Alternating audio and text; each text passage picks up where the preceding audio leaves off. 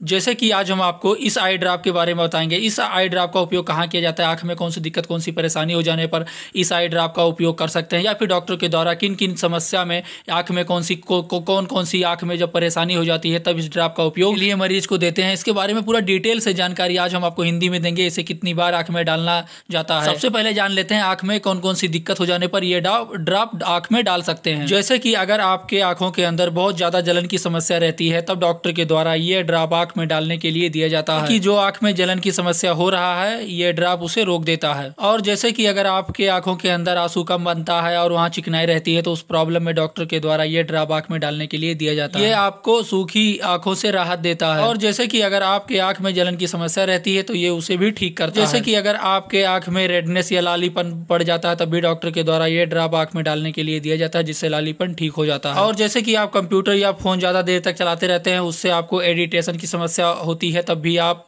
ये ड्राप आप अपने आँख में डाल सकते हैं। और जैसे कि आपके आँख में जलन हो रहा है या पर खुजली की समस्या हो रही है तो ये उसे भी ठीक करता है। जैसे कि जब आँखों में सूखापन हो जाता है वहाँ पर जलन की समस्या होती है तब डॉक्टर के द्वारा ये ड्रॉप डालने के लिए मरीज़ को दिया जाता है। जैसे कि साथ जलन के साथ में आपको आँख में दर्द की समस्या रहती है तो उस दर्द को भी ये ठीक करता है। आँखों का लाल होना आँख में धुधली पड़ जाना आँखों में भारीपन महसूस होना आँखों में किरकिरी महसूस होना। जैसे कि हम थोड़ा सा भी काम करते हैं तो हमारे आँखों में थकान सा महसूस होना आँखें बंद होना तो इस समस्या में डॉक्टर के द्वारा यह ड्राफ्ट डालने के लिए दिया जाता है। कंप्यूटर या फ़ोन चलाने से आपके आँखों के पास पा, आस पास में चारों तरफ़ म्यूकस का चिपचिपापन होना उस समस्या में भी डॉक्टर के द्वारा आँख में डालने के लिए ये दिया जाता जैसे है। जैसे कि अब इस आई ड्राप के साइड इफ़ेक्ट के बारे में जान लेते हैं। बहुत से लोगों में इसका साइड इफ़ेक्ट देखने को नहीं मिलता लेकिन फिर भी कुछ लोगों में इसका साइड इफ़ेक्ट देखने को मिलता है। जैसे कि जैसे ये ड्राप डालने के बाद में अगर किसी व्यक्ति के अंदर ये ड्राप साइड इफ़ेक्ट करता है तो उसकी आँखों पर कुछ समय के लिए अंधेरा छा जाएगा। तो ये तुरंत बंद कर दें और अपने डॉक्टर या फार्मासिस्ट से संपर्क करें। और जैसे कि यह ड्राप डालने के बाद में बहुत से लोगों में आँख में जलन या खुजली की प्रॉब्लम हो तब भी ये ड्राप तुरंत बंद कर दें। और जैसे कि यह ड्राप डालने के बाद में अगर